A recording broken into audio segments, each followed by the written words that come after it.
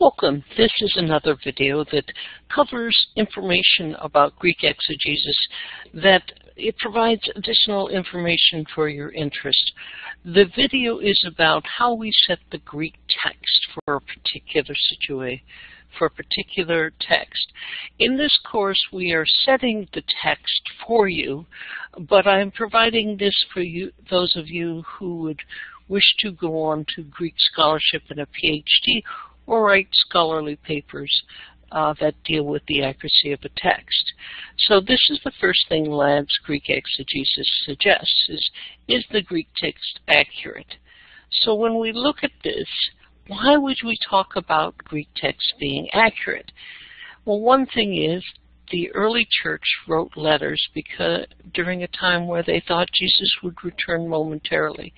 So many of them are on papyrus that uh, has aged over the time, or if there's a Bible, it's perhaps been translated from the Greek into Syria. So the problem is all this copying between the original letters that Paul wrote and other letters is done by hand. Copying can can cause unintended errors, especially if you're sitting by candlelight or by uh, light that's shown. On the right, you see a Hebrew scholar carefully copying the each Hebrew uh, Torah uh, must be checked word for word, jot, tittle.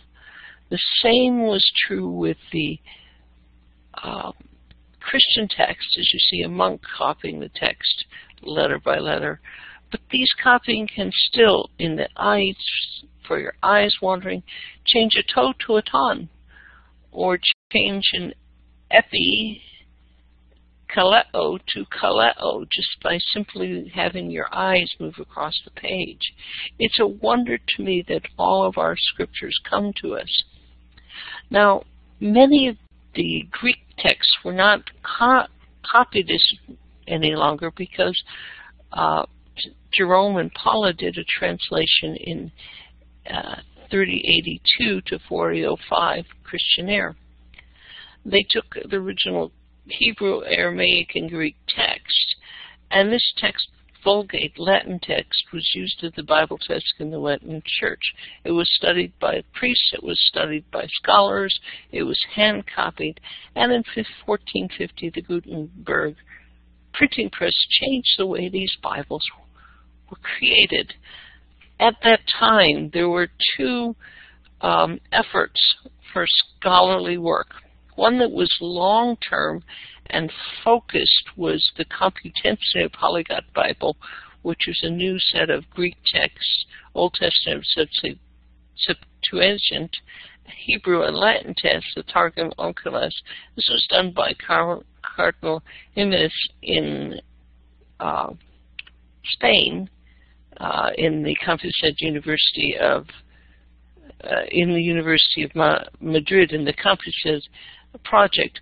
He supervised it and gave money, and he was very careful on what he did. He actually finished the Greek New Testament in 1514, but due to checking on the Septuagint in Latin and all the rest, he did not publish it till 1522. On the other hand, uh, a really um, a scholarly effort, but one with not as much checking and a lot of uh, begging was Erasmus in the Testamentum Ome. It was done in the Netherlands, sometimes it was done in England, by Erasmus that was a, a scholar.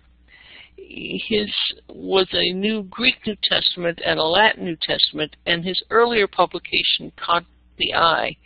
In addition, uh, Erasmus was uh, uh, plugged into the Protestants, and the Greek Protestant Bible brought a lot of rekindled knowledge and look at the original text uh, in a critical eye to see what the text really meant as opposed to what Jerome had. And you, and you found some key errors in Jerome's uh, uh, translation of the original Greek.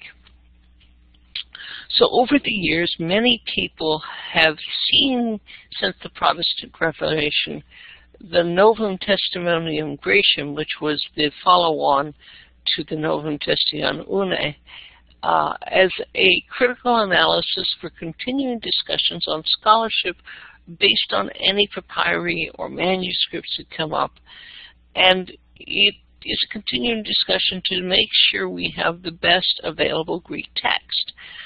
Uh, the first part of the, the Alain Nestle was published by Eberhard Nestle in, in 1913 in version 1.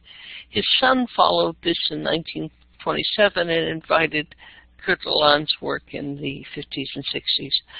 Um, Kurt Aland is the first editor in 1963. At this point, there are we are at the 28th version. The 26th was in 79 and 75. The 27th is um, there, and the 28th is in many electronic. You'll find the electronic versions in Logos 6 and BibleWorks 10, which I've discussed in class. And this is a continuing discussion. They just continue to make sure they've got the best possible uh, Greek. Now, something that also happened uh, based on uh, Erwin Nestle's approval and uh, uh, Kurt Aland's work is they started to create a Bible translated Greek text without the critical analysis and everything, but simply looking at texts that the that the translators could do. Uh, this came from many translating projects. The publisher is the same Dutch Bubbles, uh, uh, Deutsche Bibelgesellschaft, um, uh, and uh, Kurt Aland worked to get this New Testament, and current editors are Barbara and Kurt Aland, Johan Karavidopoulos, and Carlo Martini and Bruce Metzger. Now the key thing is this UBS is what we've asked you to work with in the course. Its work is actually uh, the same text, and this is a really positive thing because you can have the critical analysis. So let's look at it. Here's the critical analysis text. Now, the red marks are the things that are critical analysis. And for the most part, they look exactly like they do in my printed Ala, um, Nestle-Aland, uh, New Testament uh, Graece 28. But uh, I'm going to try to go through this and show you what the marks mean. Let's start with uh, Acts 15:37. There are three places where there are some changes. There is uh, uh, one between Sume para lambane, or there's one between Karaton, there is one between Kadomenon. So let's look what it has. In here, this is three markings within the same verse. The first marking ends at the first red line, the second marking ends at the second red line, and the third red marking ends at that point. The first red marking says that there are two um, alternatives. There is um, or Lamban, which is the aorist form. It uses the aorist form, but shows you that the Lamban has a, a witness 75, which is one of the uh, original papyri, and several other things. It, however, choose, chose the one that was based on six, 15, uh, uh, um, a manuscript, a later manuscript at 14, but it's, it's showing you it's made that particular choice.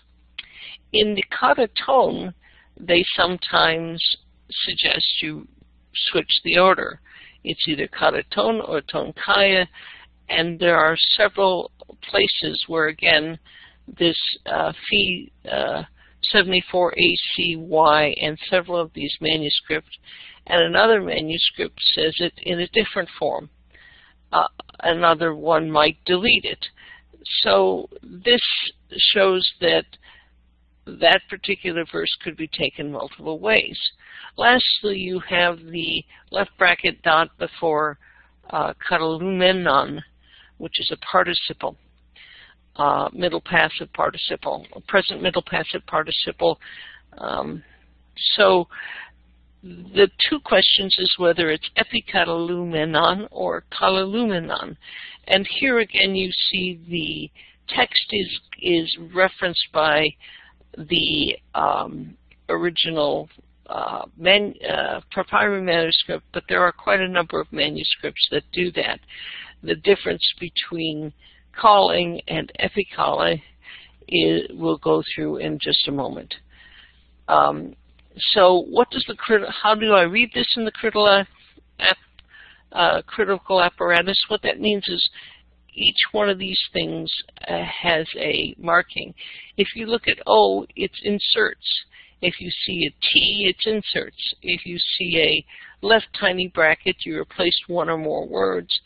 The dot meaning a second replacement within a word. The sort of looking like uh, uh, two Hebrew characters are um, replaced by one or more words so that, uh, or transposed, which we saw with the tone and the chi tone, and the dot and the uh, red arrow separates uh, different options, either for the same text or for uh, the same text. Uh, star is the original meaning, and phi uh, alpha CY 3695, 175, 120, 115 are all versus PC means a, a few manuscripts PM. So you notice where you have one where there's quite a lot of manuscripts, uh, and then another where PC is used, that's a few. So how does that work for all of this? Well, what you're really comparing is how many sources are reference each type of uh, text. And they actually grade the sources as consistently sized sources, which are greatest, which are considered the greatest value for establishing it. These are the papyri and simple little uncials that give a fairly uh, chunk of text when something else. And order one is all these original independent uncials of the uh, Byzantium, which is about the Jerome critical te uh, text. And then you have a second order where you have uncials, which is our uh, sections, and then microsections of text. So the basic thing is to believe order consistently cited sources order one before you believe order two and consistently before frequent and frequent before occasional. This gives you a sort of gradation. Now, consistent ordered cites I've put in front of you for X, but notice that phi um, uh, 74 is a consistently ordered uh, source and that A, B, C um, are other consistent sources, where other things are less consistent, such as 614 that we notice there. So if you have the same sort of thing for Acts 38, you would have a change on Hehu and utos, which would be an admission, an insertion for T, and then a change of some variant for me soon para lambanein two-tone. So if you look at the um, last one, this uk uh, is replaced instead of may, it's replaced uk belo legon, okay, and so basically uh, the alternate phrase says, I, he doesn't, he did not wish saying, okay, and uh, the other one deletes, and the insertion is es ho epethon san, which is uh, to past tense of sent, um, un supe. So again, we're trying to find out what does the critical apparatus says. Well, let me just give you two examples of the text.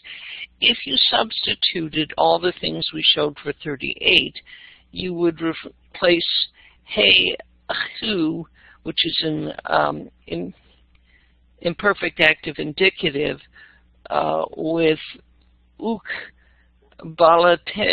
balatetu, I, uh, which is also a perfect active indicative.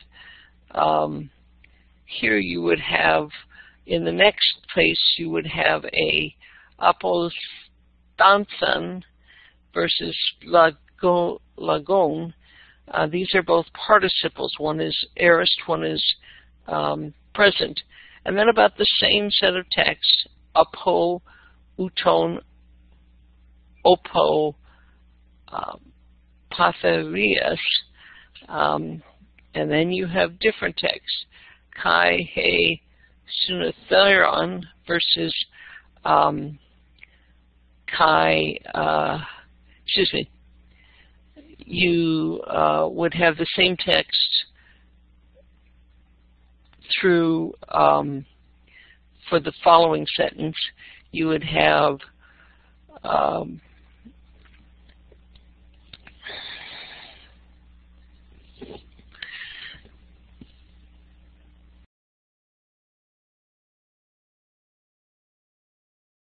Let me start that section again that may make it a little closer. Notice that the hey echlu, which is the imperfect active indicative third person singular, is replaced by an uk beluto, which is imperfect active indicative, and the word legon, saying. Now, the other uh, set of words are hey iku tone apostanta. Now, these two words uh, form the first two phrases in the sentences. If you look at the Greek beyond that, you find that the apostation has been uh, repeated. So the phrase he uku verb has simply been replaced by uk beleto legon. The next phrases are common for the next set of words. Tone apostaston, apo uton, apo paraphulasius, okay, kai me sunladet electonta. Okay, notice you've got a participle. And then here's where the words change in the text version, it has utos, ace tone ergon, me, sun para lamban tai, ten uton. Okay, that last one's a large uh, word. So in the alternate text, what you have is you remove the utos, you still have ace tone ergon, but the me soon paralambanin two-tone has been replaced by s epes epme se fi san two-tone me ine soon utos. So what does that look if you translate this all to English? And that's probably the best thing to work for the original text, and Paul was considering if worthy the one man who deserted from them from Panthea and not having gone with them to work to, to take along this man. Notice the the parenthetical Paul was considering if were uh, worthy, okay, um, and then the parenthetical is one man who deserted from them in Patha and not having gone with them to work, to take along this man. Now, this is a literal translation. The opposite literal translation, Paul was not desiring, saying, this man who deserted from them from Paphia and not having gone to the work to which they were sent, this man is not to be with us. Now, you can see that one has a much more parenthetical thing in English. In Greek, you you can see that it it's working differently. Um, the Greek exegesis uh, that we have does not debate this on on on the type and, and scholars. And some of my PhD stuff uh, work uh, or in some of my research work, I went to compare these two to see if the text, that alternate text gave a sense to what the meaning was uh, about even if I selected the UBS text. Um, the UBS Greek text is for um, translators or pastors. Some commentaries, uh, like um, Fee, will make reference to the alternate text tests in the uh, Nestle New Testament and Grecian. Uh, um, if you wish to have this type of analysis on your exegetical paper, please contact me. You will need to obtain the critical analysis papers either through uh, electronic source or you, we can work together to try to help you get that from my resources. Those who plan to PhD may wish to buy a to Novum Testamentum, Grecian, printed or Atlantic form. The texts for these art classes are online, so you do not have to worry about this particular um, analysis, but I thought it might be helpful to at least see it once. Thank you. And if you have any questions, please send them to me via email. Goodbye.